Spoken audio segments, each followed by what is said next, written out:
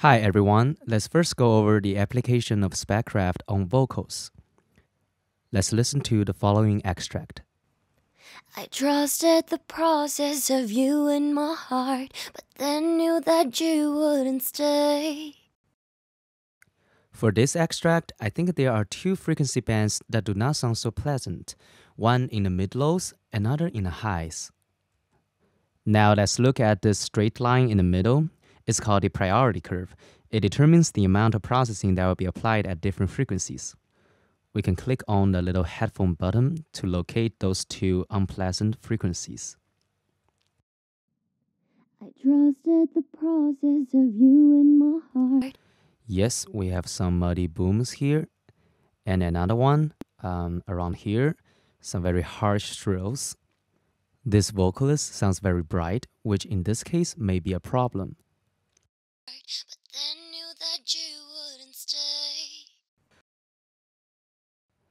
Now, the basic operation of SpecCraft is very simple. Just drag the threshold line below the frequency peaks that you find problematic, as anything rises above the threshold will get processed. I trusted the process of you in my heart, but then knew that you wouldn't stay. As you can see, around the mid-lows and the highs, some green curves are extending downwards. That is indicating that uh, some processing has already taken place. I trusted the process of you in my heart. If you are not sure whether SpecCraft is applying your target processing, you can click on this headphone button to solo out only the processed part of the audio. Trusted the process of you in my heart, but then knew that you wouldn't stay. As you can hear, the mids are being processed. Across the high frequencies, we have some sibilants taken care of as well. However, I feel like this is not enough. As mentioned earlier, we can adjust the priority curve. Double click and let's solo out here. Listen again. I trusted the process Yes, here. And another one. Double click, solo out. of you in my heart, but then knew that you wouldn't. Yep, these two positions.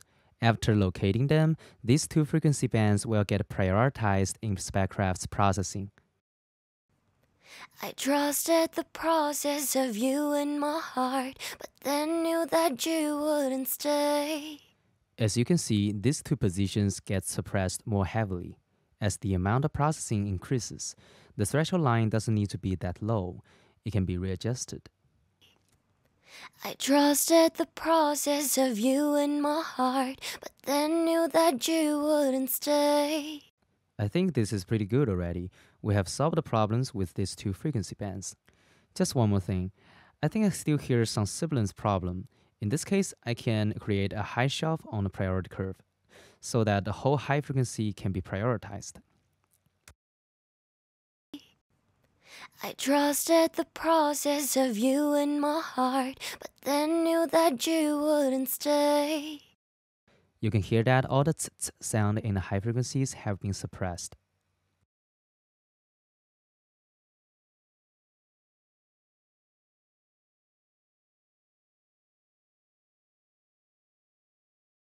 However, because of the suppression, the high frequencies now feel lacking. This is where the three compensation knobs come to use.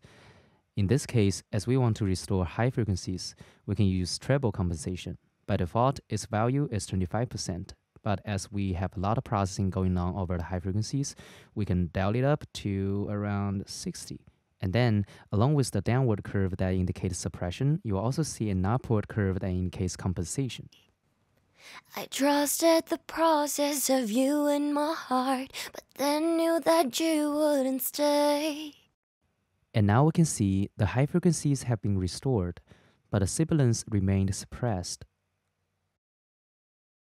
This approach, as shown on the logo, is called cut narrow, boost wide.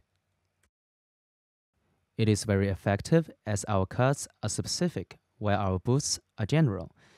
With this approach, we can preserve the spectral character of the audio while surgically suppressing unwanted resonances. The same applies to low mids. We've mentioned the boominess problem here. I trusted the process of you in my heart. And indeed, we've applied heavy suppression to it. However, after the suppression, I feel like the formant around this frequency band uh, sound flattened. If we are okay with it, we can just move on.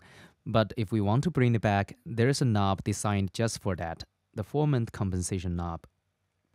We can try dialing it up by a little bit and it will automatically restore the formant lost due to resonance suppression. But then knew that you wouldn't stay. I trusted the process of you in my heart, but then knew that you wouldn't stay. As you can see, the suppression happening over here has triggered a very broad boost across the low mids, which actually kind of grows back the flattened formants. In the meantime, we can adjust these other knobs as well. For example, say we are now aiming for an even heavier processing, we can just turn up ratio. I trusted the process of you in my heart, but then knew that you wouldn't stay. Actually, this is kind of overdoing it. We should bring it back. Now let's look at the other problem. As we can see from the waveform of this track, the volume seems fluctuating, making a static threshold line difficult to manage in all situations. In this case, we can try turning up adaptive threshold just by a bit. Now, the threshold line will adapt dynamically based on your original threshold setting and the current volume of the audio content. Let's listen. I trusted the process of you in my heart, but then knew that you wouldn't stay. You can see the threshold line bouncing along with the audio content. At 0% adaptive, the threshold line will be fully static on your set position.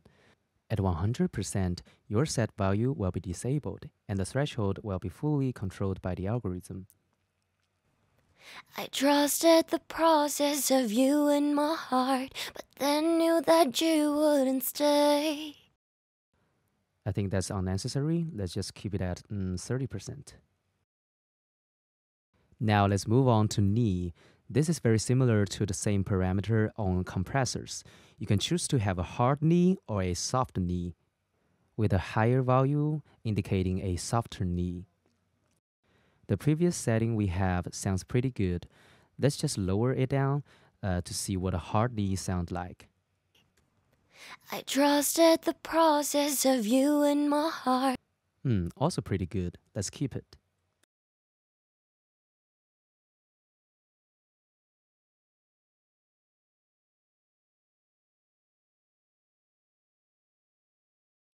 Now let's look at the Q knob.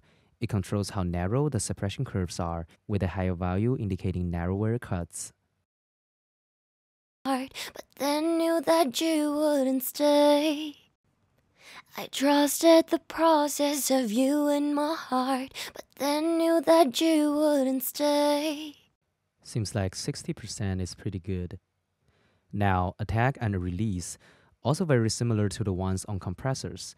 They control the response time of the processing against the audio. Actually, I've been feeling the attack was too long, which causes some transient resonances to escape. We can try lower it down. I trusted the process of you in my heart, but then knew that you wouldn't stay. I trusted the process of you in my heart, but then knew that you wouldn't stay. Personally, I much more prefer faster response like this. Okay, so that concludes all the basic operation of SpecCraft, and the vocal now sounds quite decent. But there's actually one more thing we can try out, and it's very fun. So far, the threshold line we've seen are all straight and flat, but it doesn't have to be like that. What if I want a curved threshold line? Well, click on Profiling and find out. Now we can choose from the preset selector, Vocal, yeah, and Pop Female Vocal. Let's try it out. Yes, the threshold curve is now updated.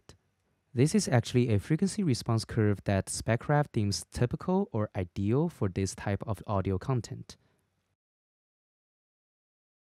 There's this additional depth control, which determines how much does the threshold curve conform to the ideal frequency response. 30% is a good starting point.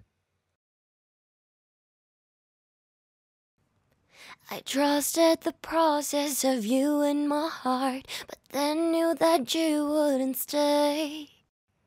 I think the vocal sounds even better now. We can compare the sound before and after SpecCraft's processing. Here's before. I trusted the process of you in my heart, but then knew that you wouldn't stay. Now after. I trusted the process of you in my heart, but then knew that you wouldn't stay.